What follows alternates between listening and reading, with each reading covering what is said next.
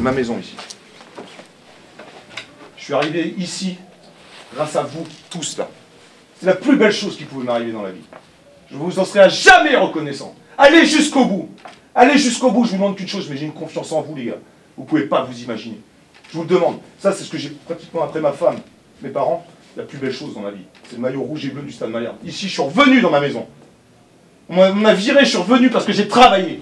Et c'est avec vous qu'on passer ce soir et que je vais pouvoir exploser de joie. J'en suis conscient. Et quoi, j'ai confiance en vous. Allez, Romain, Titi, allez